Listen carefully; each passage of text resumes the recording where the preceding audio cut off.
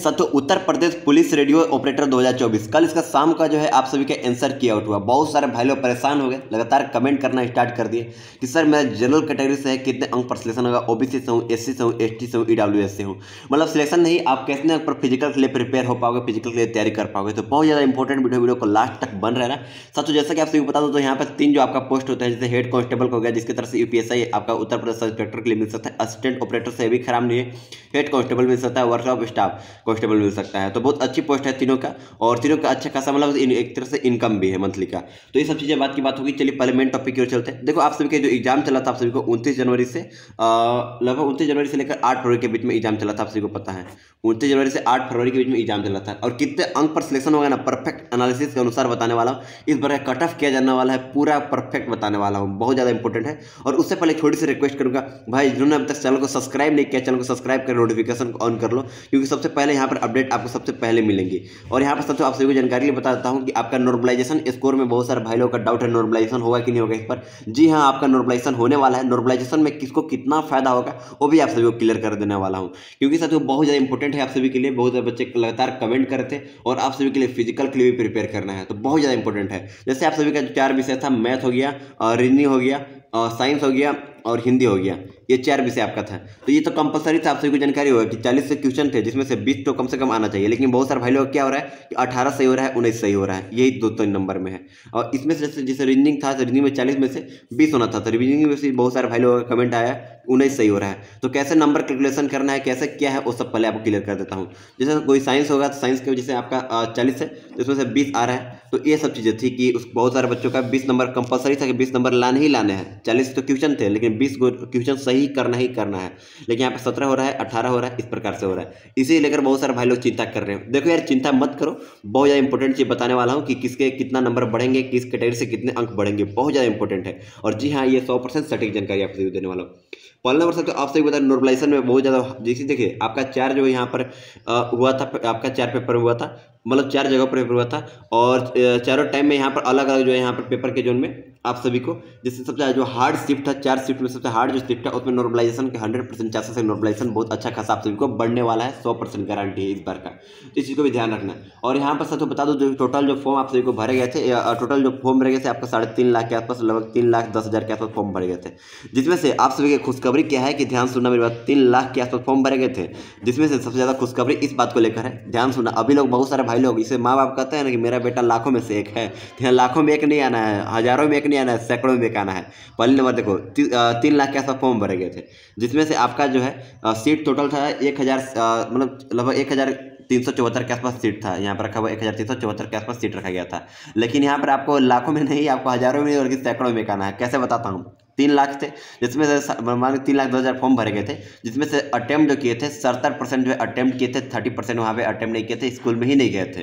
तो सत्तर परसेंट यानी मिला जुला के ज़्यादा नहीं तो एक मोटा मोटी बात किया जाए तो यहाँ पर लगभग दो लाख मान लो, दो लाख से उन्नीस बीस का अंतर हो सकता है, ज़्यादा नहीं, दो लाख आपका जो है अटैम्प्ट किए, जिसमें से इतना सीट रखे गए और इसमें से ध्यान देना मेरी बातों का, किसको नॉर्मलाइजेशन में फ़ायदा होगा ना, मैं आपको अभी क्लियर कर देता हूँ। और O B C S C S T के लिए कितने सीट है? जैसे दो लाख टोटल गए थे, जिसमें से आपको जो है एग्ज़ाम में टोटल अटैम्प्ट जिससे पढ़ाई के लेकर जो सीरियस होकर गया था, जिससे सब लोग फॉर्म भर रहा था, हम भर रहे हैं, वो यार फॉर्म भर रहा था, हम अपने दोस्ती के चक्कर में फॉर्म भर दिए तो इस प्रकार से देखने को मिलता है अधिकतर। तो जिसमें से सीरियस जो थे, लगभग फिफ्टी परसेंट जो इसमें सीरियस थे।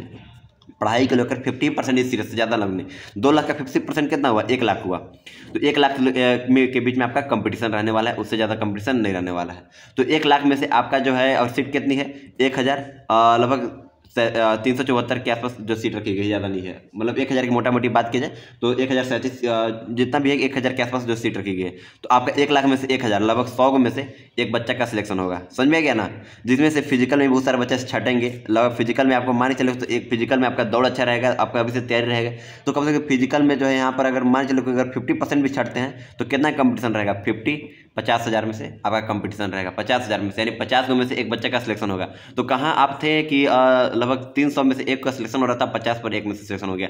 तो इसी प्रकार से आप सभी का सिलेक्शन होगा, इससे ज़्यादा कोई ज़्यादा टेंशन लेने की बात नहीं है। पहले नंबर दिया रहना। और बहुत सारा जीके जीएस का जो पेपर पेपर था जीके जीएस का, बहुत ज़्यादा हार्ड पेपर था, बहुत ज़्यादा हार्ड पेपर रखा गया था इस बार का। और जैसे मैं बात करूँ मैथ का रीडिंग का तो वो थोड़ा सा मॉडरेट था, ज़्यादा हार्ड नहीं था इस बार का। तो जीके जीएस का बहुत ज़्यादा हार्ड पेपर था, ये सब चीज़ें। लेकिन आप सभी का नंबर कैलकुलेशन के लिए बता दूँ तो देखो, जैसे मैं बताया कि किसी भी विषय में, जैसे आपका टोटल मिलाकर, माने चले टोटल मिलाकर अगर आपका यहाँ पर मान चले तो अगर सत्तर आ रहा है, अस्सी आ रहा है ना तो अस्सी से गुना करना है टू पॉइंट फाइव में। आपका नंबर कैलकुलेट हो जाएगा, क्योंकि टू पॉइंट फाइव से ही आपका जो है एवरेज बन रहा है। जैसे अस्सी दूनी से टू पॉइंट फाइव करोगे तो आपका आ जाएगा अस्सी दूनी दो सौ चार एक सौ साठ हो गया, एक सौ साठ प्लस हो गया आपका चालीस, यानी दो सौ आ गया। तो जिसका अस्सी सही होगा, उसका दो सौ अंक बन रहा है, यानी जिसको भी, जितने अंक आपको मिल रहे हैं उससे अढ़ाई से गुना कर लीजिएगा जितना आपका सही है, क्योंकि आपका टोटल जो प्रश्न थे, वहाँ पर एक सौ साठ थे। और जितना आपका सही हुआ है, उससे अढ़ाई से, यानी टू पॉइंट फाइव से गुना कर लीजिएगा, आपका बन जाएगा। ये सब चीज़ें बात की बात थी, आप सभी आपको इसकी जानकारी आपको अच्छी तरीके से होगी।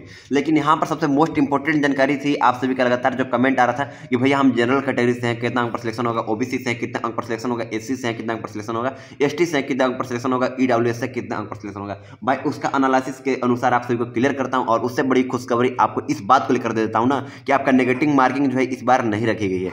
जी हाँ आप सही सुन रहे हैं नेगेटिव मार्किंग इस बार नहीं रखी गई है। आप सभी को तो बहुत लोगों को पता होगा, जानकारी होगी। लेकिन बहुत सारे अभी टेंशन में पड़े भैया नेगेटिव मार्किंग है, कैसे हुआ क्या होगा अरे कोई नेगेटिव मार्किंग नहीं है तो क्या है चिंता का विषय बनाए हो भाई।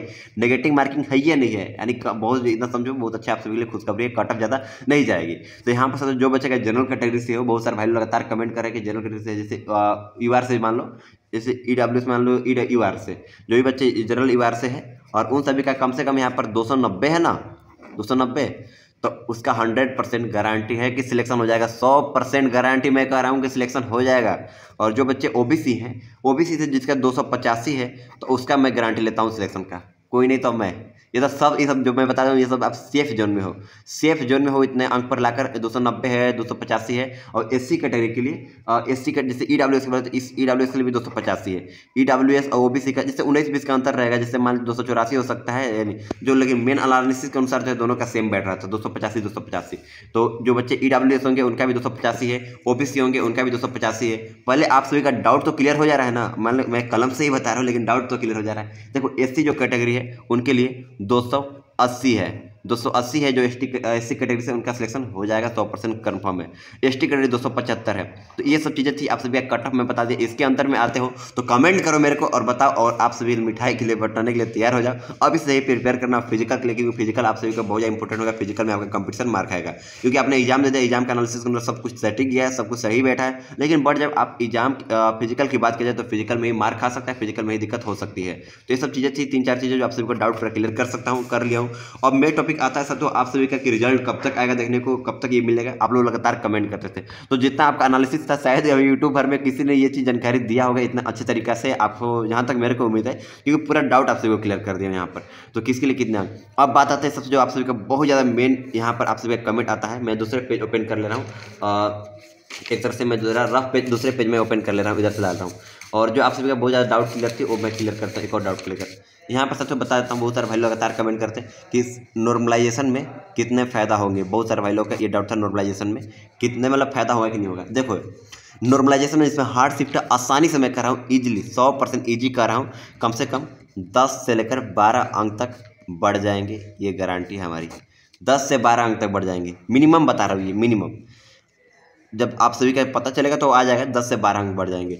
और बहुत लोग जानते हो क्या कर रहे हैं? नॉर्मलाइजेशन अभी से चेक करना स्टार्ट कर दिया। नॉर्मलाइजेशन में ये तो पक्का है कि नॉर्मलाइजेशन से फ़ायदा होगा। लेकिन जैसे मान चलो कि जिसका अगर मैं बताया था चालीस में से बीस कंपलसरी था कि आपका सही होना चाहिए फिफ्टी परसेंट और जिसमें अठारह आ रहा है तो अगर उसका तो दो अंक भी बढ़ेगा तो जारी बात है उनका हो जाएगा बीस। ये अपना सेफ़ जोन में चले जाएँगे।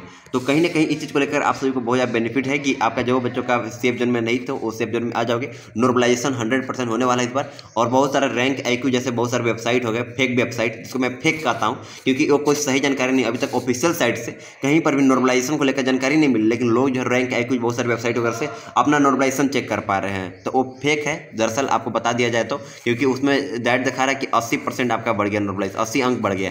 कहीं भी नॉर्मलाइजेशन में अस्सी बढ़ता है, कहीं कोई बता रहा है, उसमें देख रहा हूँ कोई पैंसठ बढ़ रहा है, कोई साठ बढ़ रहा है, कोई थर्टी बढ़ रहा है। मतलब कि हद से ज़्यादा फेक होता है ना फेक से भी पार हो जा रहा है इस प्रकार से। तो ये दरअसल फेक है, ये रैंक अगर ज़रा वेबसाइटों पर मत पड़े आप सभी आपने मेहनत किया है, अपना मेहनत पर विश्वास रखें, उससे ज़्यादा कोई नहीं जाएगा। और ध्यान रखें साथ आप सभी को सबसे सही जानकारी इस चैनल पर मिलते रहेंगे। इस चैनल को सब्सक्राइब कर नोटिफिकेशन को ऑन ज़रूर कर लीजिएगा। और आप सभी को ऑफिशियल नॉर्मलाइजेशन कैसे चेक करना है, इसके लेकर जल्द आप सभी को वीडियो आने वाली है, बहुत ज़्यादा जल्द आने वाली है। क्योंकि जैसे आपको ऑफिशियल साइट से एक लिंक प्रोवाइड किए जाएँगे आप सभी को, जिसके द्वारा आप सभी का नॉर्मलाइजेशन अंक चेक किया जाएँगे, ये सब चीज़ें डाउट क्लियर तो सारा कुछ जो बात थी, आप सभी को सब कुछ क्लियर कर दिया हूँ और भी कोई डाउट होगा तो आप लोग कमेंट कर ज़रूर बताइएगा। तो यही वीडियो को एंड करता हूँ। तब तक के लिए बाय बाय आप लोग कमेंट में ज़रूर बताइएगा मेरे को कि आपका कितने अंक बन रहे हैं, आप सेफ़ जोन में है या फिर नहीं है। और इससे जुड़े रहने के लिए जो भी अपडेट चाहिए, इस चैनल को सब्सक्राइब कर नोटिफिकेशन को ऑन ज़रूर से ज़रूर कर लीजिएगा। लाइक कर दीजिएगा, अपने दोस्तों के पास ज़रूर शेयर कीजिएगा और नीचे लिंक दिया हुआ टेलीग्राम पर जाकर जुड़ जाएगा और तब तक के लिए बाय बाय जय हिंद, वंदे मातरम।